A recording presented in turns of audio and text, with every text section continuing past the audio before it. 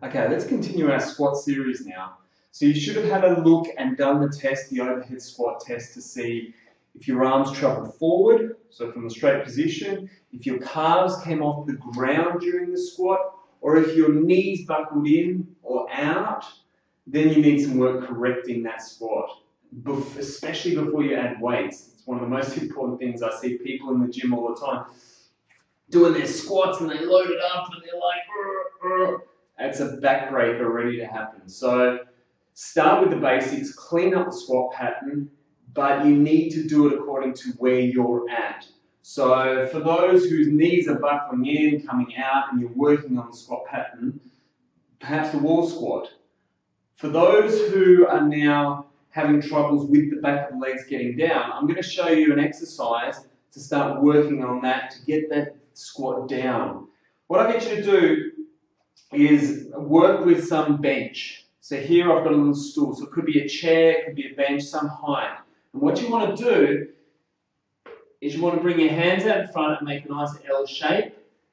Get your foot positioning right. So for me, I'm going to have my feet shoulder width apart.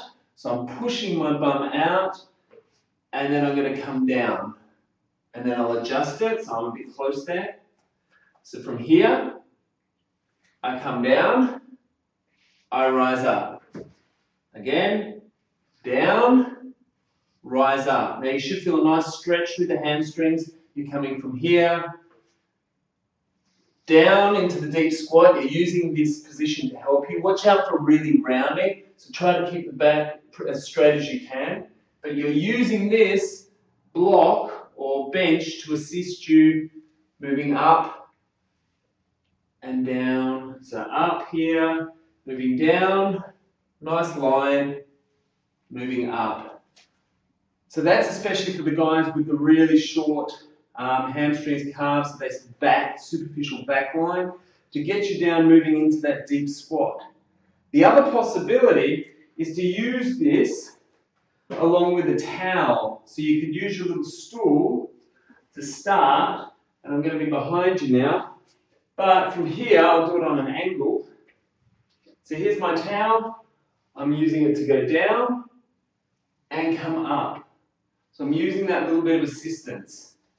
Um, so you want to modify the squat according to, like I said, where you're at. We're going to move on to other versions of the squat. But if you're having troubles with getting the bum to the ground, try that out. See how you go.